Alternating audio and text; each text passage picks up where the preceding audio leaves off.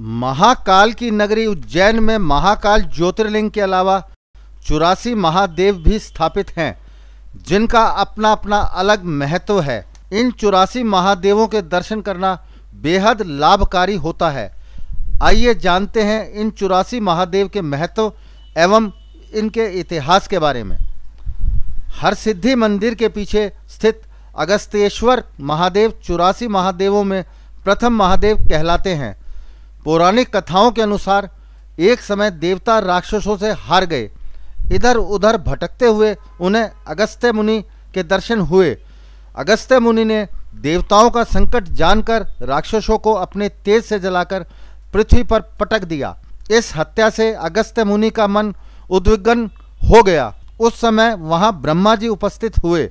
अगस्त्य मुनि ने ब्रह्मा जी से निवेदन किया कि दानवों की हत्या से मेरा सब तप क्षीण हो गया है। तब ब्रह्मा जी ने समझाया कि आप महाकाल वन में, वट यक्षिणी के उत्तर में तथा पिशाचेश्वर के दक्षिण में स्थित लिंग की आराधना करो। अगस्त्य मुनि ने उस लिंग की पूजा की और वे ब्रह्म हत्या से मुक्त हो गए।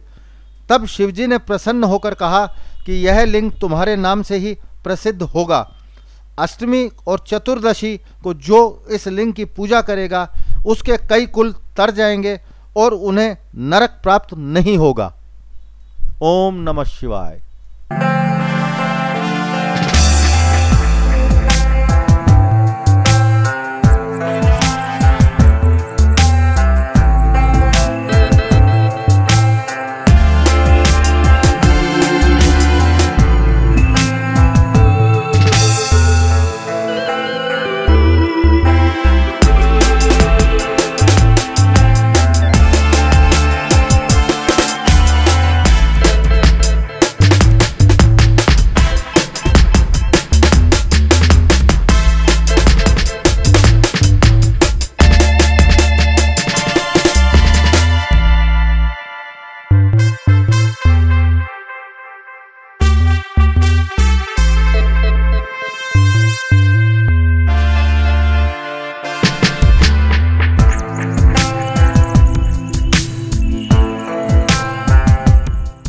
चौरासी महादेवों के महत्व को जानने के लिए और उनके साक्षात दर्शन के लिए हमारे YouTube चैनल को आज ही सब्सक्राइब करें और ज़्यादा से ज़्यादा लाइक व शेयर करें ताकि बाकी लोग भी इसके महत्व और इनकी महत्ता के बारे में जान सकें।